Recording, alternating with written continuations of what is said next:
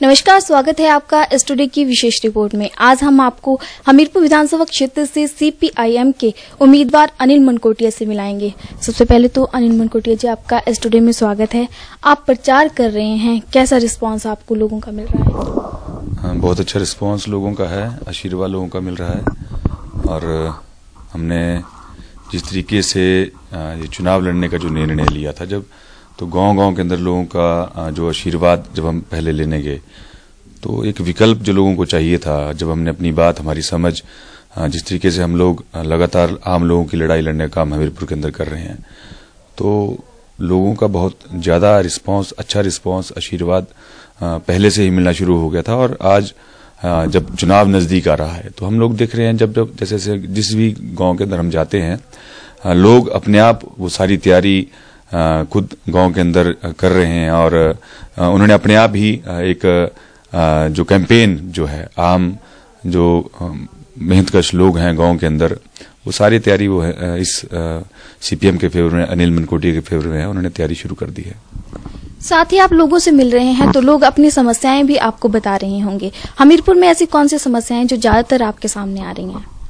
हमीरपुर के अंदर हर वर्ग की अपनी अलग अलग समस्या है। शहर की अलग समस्या है गाँव की अलग समस्या है, नौजवानों की अलग समस्या है, महिलाओं की अलग समस्याएँ हैं, कर्मचारियों की अलग समस्याएँ हैं बुज़ुर्गों की अलग समस्याएँ हैं। गाँव के अंदर जो सबसे जो अगर जो सबसे ज़रूरी महत्वपूर्ण चीज़ जो हमने नोटिस की है बहुत ज़्यादा बुज़ुर्ग ऐसे हैं जो, जिनको पेंशन की ज़रूरत है। और सरकार ने, जो पेंशन की उम्र वो 80 साल जो घोषित की है। मैं समझता हूँ कि हमने अपने इलेक्शन मैनिफेस्टो के अंदर भी इस चीज़ को मेंशन किया है कि पेंशन की उम्र 60 साल करने के लिए जो है हम विधानसभा के अंदर लड़ाई लड़ेंगे। और उसके साथ साथ जो नौजवानों की समस्याएँ हैं, हिमाचल प्रदेश के अंदर जिस तरीके से कांग्रेस और भाजपा की सरकारें रही हैं पेंशन जो उनको कॉन्ट्रैक्ट, जो पॉलिसी जो सरकार ने बनाई है, जिस तरीके से ठेका प्रथा के तहत जो है, वो नौकरियाँ देते हैं। हम ये समझते हैं कि स्थायी रोज़गार के लिए, नौजवानों की नौजवानों को रोज़गार दिलाने के लिए वो लड़ाई लड़नी पड़ेगी। और उसके साथ साथ जो एक और चीज़ हमने नोटिस की है, हमारे हिमाचल प्रदेश को उन्नीस अस्सी से पहले स्पेशल राज्य कोटा फौज के अंदर होता था। और हम देखते हैं कि पहले हर घर से कोई ना कोई आर्मी के अंदर होता था। और अभी जिस तरीके से बेरोजगारी का दौर है, जिस तरीके से जो नौजवान विरोधी सरकार नीतियाँ सरकार ने बनाई हैं, हम ये समझते हैं वो स्पेशल राज्य कोटा उसको वापस लेने की ज़रूरत है और वो कोटा वापस लेने के लिए जो है हम लोग लड़ाई लड़ेंगे ताकि हमारे जो हिमाचल प्रदेश के जो रफ एंड टफ नौजवान हैं, उनको जो है फौज में जाने के लिए जो है वो ज़्यादा से ज़्यादा संख्या में नौजवान जो है वहाँ पर फौज में जाकर जो इस देश की सेवा करें, उसके लिए भी हम लोग लड़ाई लड़ेंगे। साथ ही अगर बात की जाए तो नौजवान कुछ ऐसे भी हैं जो फौज में इंटरेस्ट नहीं रखते हैं। जहाँ तक फौज में इंटरेस्ट रखने वाले युवाओं की बात है वो तो चले जाएँगे। लेकिन इसके अलावा कुछ लोग ऐसे हैं जो अपने शहर में अपने गाँव में रहकर काम करना चाहते हैं। उनके लिए क्या रणनीति बनाई है आपने? बिल्कुल। उसको लेकर मेरे हमारे एक अलग से उसको लेकर एक एजेंडा है, हमारी पार्टी के अंदर चीज़ को लेकर चर्चा है।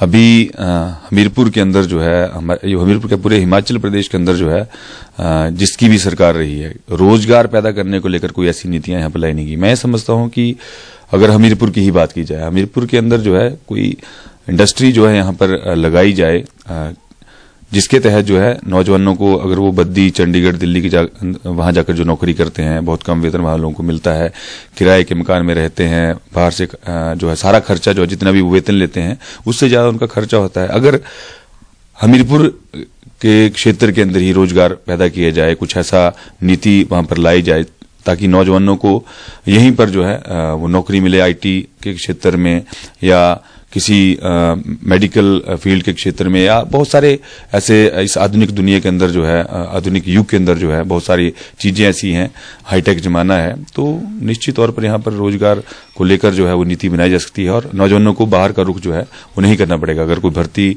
होना चाहते वो अलग बात है। अलग अलग इंटरेस्ट में नौजवानों के रहते हैं तो वो सारी चीज़ें जो है, लेकिन उसके लिए ज़रूरी है कि विधानसभा के अंदर पहुँचा जाए लोगों का, जिस तरीके से नौजवानों का स्पेशली हमीरपुर के अंदर जिस तरीके से रिस्पॉन्स है। अभी हम गाँव के अंदर जब गए अभी पिछले गाँव के अंदर तो वहाँ एक महिला मिली।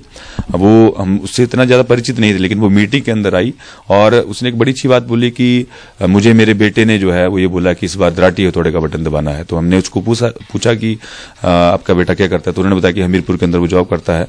तो ये अपने आप में स्वतः ही जिस तरीके से नौजवानों को एक, नौजवान चेहरा वहाँ पर चाहिए, एक संघर्ष करने वाला चेहरा विधानसभा के अंदर चाहिए तो एक अच्छा माहौल जो है हमीरपुर के अंदर बना है। किन मुद्दों को लेकर जो है आप जनता के बीच जा रहे हैं? जनता अभी आप, आप आप इस चीज़ को समझने का प्रयास करें। जिस तरीके से अभी अगर तीन साल पहले की अगर मैं बात करता हूँ जब मोदी जी प्रधानमंत्री बने भाजपा और कांग्रेस भाजपा की जो स्पेशली क्या नारे थे बहुत हुई भ्रष्टाचार की मार पूरी दीवारें उन्होंने रंग दी सड़क के साथ साथ जितनी भी शहर के अंदर गाँव के अंदर बहुत हुआ भ्रष्टाचार की मार अब की वारे फलानी सरकार बहुत हुई महँगाई बेरोजगारी ये सारे नारे उन्होंने दिए।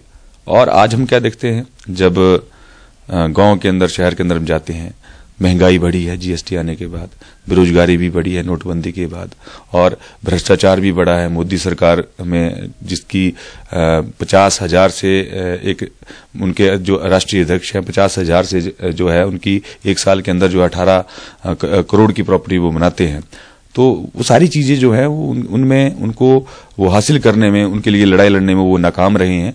और वो सारे मुद्दे, जितने भी जो वो लोग सिर्फ़ कागजों तक उनकी बातें सीमित रहती हैं, उनके जितने भी इलेक्शन मैनिफेस्टो आते हैं, वो सिर्फ़ कागजों तक वो बातें सीमित रहती हैं। हम उनसे अलग लोगों के बीच में लोगों को मालूम है कि हम लोग हमीरपुर के अंदर पिछले अ, अ, काफ़ी लंबे समय से लोगों की लड़ाई सड़कों के ऊपर लड़ रहे हैं चाहे वो गांधी चौक हो डीसी ऑफ़िस हो शिमला सेक्रेटरीट के बाहर हो विधानसभा के बाहर हो दिल्ली संसद के बाहर हो हर वर्ग की समस्या को लेकर जो है हम लोग वहाँ पर उनकी लड़ाई लड़ रहे हैं और लोग इस बात को समझ रहे हैं कि उनकी सही मायने में उनकी लड़ाई लड़ने वाले लोग कौन है और इस तरीके के जो मुद्दे हैं, हम उनको और भी ज़्यादा जो उनके गाँव गाँव के अंदर अलग अलग जो उनके मुद्दे हैं, सड़कों की समस्या है, शहर में पानी की समस्या है बिजली की भी कहीं कहीं समस्या है तो इन सारी समस्या ये हमारे इलेक्शन के अंदर मुद्दे हैं, और मात्र मुद्दे नहीं हैं। इनको लेकर, इनको जीतने के बाद जो है, इनको लेकर कैसे लड़ाई लड़नी है, वो सारी चीज़ें जो है, वो हमारे एजेंडे में रहेंगी, और मैं ये समझता हूँ कि अगर जनता जिस तरीके से हमारे को रिस्पॉन्स कर रही है उनको एक विश्वास जो है हमने उन्होंने हमारे ऊपर कायम किया है जब हम प्रचार के अंदर जा रहे हैं। तो निश्चित तौर पर ये चुनाव जो है जनता के मुद्दों के साथ जो है हम चुनाव लड़ रहे हैं और जनता जो है हमें पूरा आशीर्वाद इसमें दे रही है। अगर बात की जाए कांग्रेस और भाजपा की तो उनका हमेशा देखा गया है कि हमीरपुर में जो है वो उनका जनाधार रहा है। तो आपको क्या लगता है कि उनके सामने इस वक्त चुनावों में कितना जो है वो सीपीआईएम जो है वो टिक पाएगा? देखिए हमीरपुर के अंदर लोगों के पास लोगों को जिस विकल्प की ज़रूरत थी कांग्रेस भाजपा से सभी लोग दुखी हैं हर वर्ग उन, उनकी नीतियों से दुखी है और जिस तरीके से एक विकल्प जो है हम लोगों ने उनके सामने रखा है लगातार गाँव उनके बीच में जाते हुए। मैं समझता हूँ कि अनिल मनकोटिया एक अ, उनके बीच का कैंडिडेट है। उनका, जैसे जो अगर आज से पहले अगर आप देखेंगे तो साहब लोग उनको बोलते हैं, सारे एमएलए साहब एमएलए साहब। हम लोग, हमारे बीच में और उनके बीच में एक बेसिक डिफरेंस है, हम सेवक के तौर पर जो है, चुनाव लड़ रहे हैं। और वो, अगर साहब लोगों से जब वो चुनाव जीतते हैं, जनता को उनसे मिलना मुश्किल होता है। बहुत समस्या जो है, लोगों को अपनी फरियाद जब सुनाने को लेकर वहाँ पर। हमारा हमीरपुर के अंदर जो अपना एक दफ्तर है लोग लगातार वहाँ पर जो है अपनी समस्याओं को लेकर आते हैं और जो स्ट्रक्चर हमने विधानसभा क्षेत्र के अंदर डेवलप डेवलप किया है, बनाया है, लोगों को एक आसानी, आसान तरीके से जो है अगर हम जीते हैं तो लोगों को बहुत आसान है वो सारी चीज़ें, क्योंकि गाँव गाँव के अंदर हमारा ढांचा है, अगर जीतते हैं तो हमें मालूम है कि फलाने गाँव के अंदर फलानी समस्या है। कांग्रेस भाजपा के अंदर इस तरीके का वो, मैं समझता हूँ उनका काम करने का तौर तौर तरीका बिल्कुल डिफरेंट है। उनके साथ कोई शराब माफिया है, कोई बड़ा ठेकेदार है, और वो सारे लोग जो हैं वोट तो आम गरीब आदमी से लेते हैं, लेकिन काम जो है वो चुनिंदा लोगों के करते हैं। तो निश्चित तौर पर जो है कांग्रेस और भाजपा से दुखी होकर जो लोगों को विकल्प चाहिए था तो मैं अपने आप को इस वक्त जो है, एक मज़बूत स्थिति के अंदर समझता हूँ और निश्चित तौर पर जो है, इस बार विधानसभा के अंदर, हमीरपुर विधानसभा क्षेत्र से ये लाल झंडा, ये मेहनत का झंडा, जनता का झंडा जो है, वहाँ पर जाएगा और लोगों की आवाज़ बनकर जो है, वहाँ पर गूंजेगा। देखा गया है कि सीपीआईएम और सिट्टू की बात की जाए तो ये जो है वो आंगनवाड़ी वर्कर और मनरेगा के लोगों को संघर्ष के लिए हमेशा इन्होंने लड़ाई लड़ी है। तो आगे के लिए इनके बारे में क्या रणनीति है? देखिए सीट टू मात्र किसी एक वर्ग तक सीमित नहीं है। कर्मचारियों के अंदर सी आई टू का संगठन है आंगनवाड़ी के अंदर है कंस्ट्रक्शन वर्कर्स के अंदर है मनरेगा के अंदर है।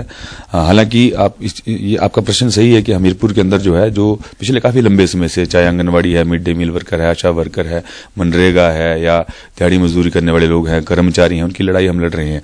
निश्चित तौर पर जो है जितना भी जो मेहनत का शवाम है हम उनकी लड़ाई जो है आने वाले टाइम के अंदर और ज़्यादा मज़बूत करेंगे। और अगर विधानसभा के अंदर जाते हैं तो निश्चित तौर पर जो है चाहे वो आंगनबाड़ी वर्कर है, चाहे वो मनरेगा वर्कर है, उनकी दिहाड़ी की जो बात है, उनकी न्यूनतम मजदूरी की जो बात है, उसको पूरा करने के लिए हम वहाँ लड़ाई लड़ेंगे। और ये कोई बहुत टफ काम नहीं है, मैं समझता हूँ। अगर इसको लेकर सरकार के ऊपर दबाव बनाया जाए, सरकार को नीति बनाने को लेकर दबाव बनाया जाए। केरल का एग्ज़ाम्पल आपके सामने है। वहाँ पर मनरेगा की जो दिहाड़ी है पूरे देश में सबसे ज़्यादा साढ़े तीन सौ रुपया दिहाड़ी वहाँ पर मिलती है। हिमाचल प्रदेश के अंदर, हिमाचल की सरकार मात्र एक सौ उनासी रुपया दिहाड़ी मनरेगा के अंदर देती है।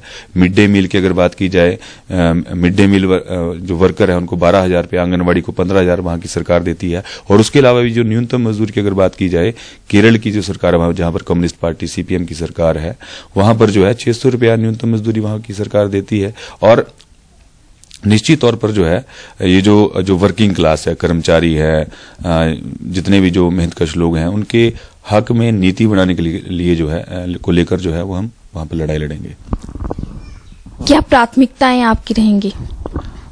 मैं आपको पहले ही इस चीज़ को लेकर ये ये बता चुका हूँ कि प्राथमिकताएँ ये जो हमीरपुर विधानसभा क्षेत्र का जो संपूर्ण विकास है उसमें हर वर्ग की अलग समस्या है।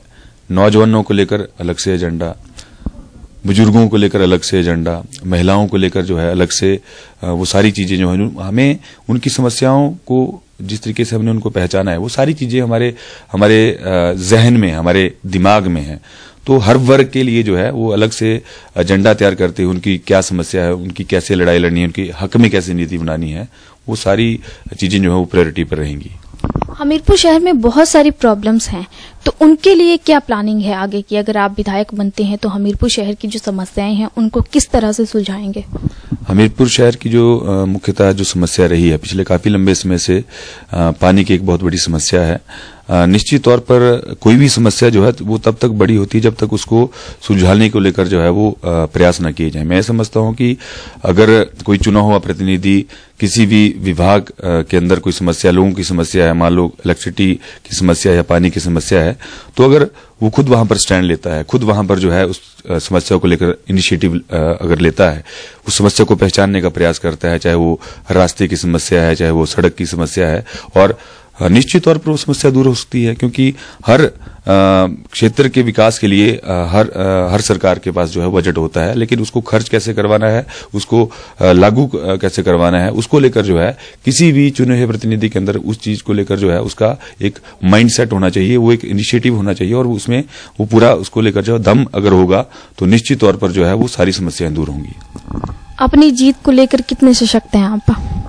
मैं अपनी जीत जो है, ये पूरी जितनी भी हमीरपुर विधानसभा क्षेत्र की जो आम आवाम है, मेहनत का शवाम है उसकी जीत को लेकर जो है पूरी तरह आश्वस्त हूँ और निश्चित तौर पर जो है, इस बार एक बहुत बड़ा बदलाव, संपूर्ण बदलाव, कांग्रेस, भाजपा के अलावा जो विकल्प के तौर पर हमने कम्युनिस्ट पार्टी की तरफ़ से हमने यहाँ पर विकल्प कम्युनिस्ट पार्टी के तौर पर यहाँ पर जो विकल्प दिया है, निश्चित तौर पर जो है आम जनता की लड़ाई इस बार जीतेगी आम जनता की जो लड़ाई बड़े लंबे टाइम से उनको विकल्प नहीं मिल रहा था तो निश्चित तौर पर जो है इस बार हम लोग विधानसभा के अंदर जनता के आशीर्वाद से पहुँचेंगे।